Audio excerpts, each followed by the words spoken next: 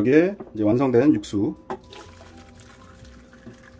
반갑습니다. 행복을 전하는 요리사 대령 숙수입니다. 자 오늘은 종일 비가 이렇게 내리고 있는데요.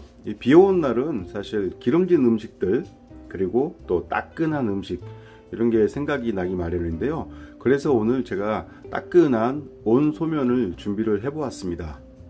앞에는 제가 미리 고명을 준비를 해 놨거든요 김가루 그리고 호박하고 당근을 이렇게 채를 썰어서 준비를 했고요 그리고 김치는 다져서 준비를 하시던지 아니면 이렇게 배추를 말아서 썰어서 준비를 해주시면 되고요. 그리고 요 지단은 제가 지난 영상에 지단 붙이는 법을 올려놨으니까 예, 확인해 가지고 사용하시길 바라겠습니다.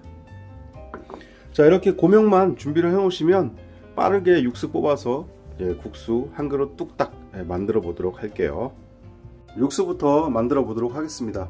우선 웍을 준비해 주시고요. 분량의 물을 이렇게 웍에다가 담아 주시면 되고요 여기에 다시 멸치 양파 무 다시마 자 다시마까지 넣어 주시고 불을 센 불로 켜주세요 그리고 한번 끓을 때까지 기다려 주시면 되겠습니다. 자 이렇게 육수가 전체적으로 한번 팔팔 끓어오르면요. 불은 중불로 줄여주세요. 불은 중불로 줄여주시고 타이머를 30분 눌러주시면 되겠습니다. 제 육수 내는 동안 저희는 이제 양념 여기 만들어야 되겠죠? 육수 양념. 먼저 소고기 다시다.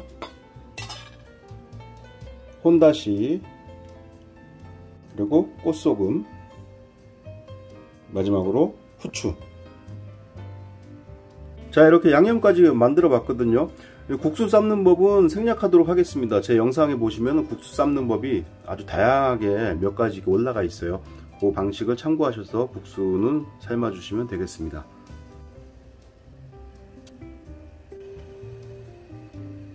자 어느덧 30분이 다 됐네요.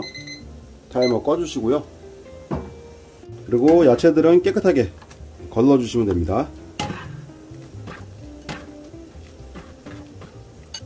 자, 야채를 이제 건, 건져낸 육수에 2차 양념 넣어 주세요. 자 이렇게 넣고 센 불로 한번 끓여 주실 때 준비해 두었던 당근하고 호박채를 넣어서 한번 익혀 주시면 돼요 이제 한 가지 여기서 주의해야 할 점은요. 각 가정마다 업소마다 이 불 화력도 틀리고 이 불 조정하는 게 틀릴 수가 있어서 이 간을 했을 때 이제 짜거나 아니면 싱겁거나 이럴 수가 있습니다. 짜면은 여기다 물을 조금 더 붓고 끓여 주시면 되고요. 싱거우면 소금으로 간을 맞춰 주시면 됩니다. 자 이렇게 한번 끓어오르면 불을 꺼 주시면은 이제 온소면 육수는 이제 완성이 되는 겁니다. 육수 자체는요 빠르게 찬물에 식혀가지고 냉장고 보관하시면은 좀 오래 쓸 수가 있고요. 여름철 같은 경우는 이렇게 그냥 상온에 방치해 두면 금방 상하게 되니까 빠르게 식혀서 냉장고로 보관하시는 게 좋습니다. 자 이번엔 세팅입니다.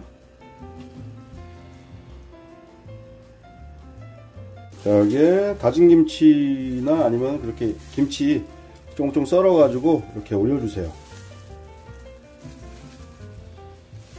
그리고 지단.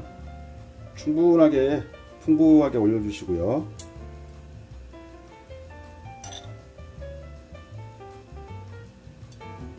여기에 이제 완성된 육수. 마지막으로 김가루로 마무리. 자 이렇게 해서 온 소면이 이제 완성됐습니다 비가 오는데 뜨끈한 거 생각날 때 이 온소면 한 그릇 드시고 기운 내시길 바라겠습니다. 자 오늘 영상은 여기까지이고요. 저는 다음 시간에 더 좋은 레시피 갖고 여러분들 찾아뵙도록 하겠습니다.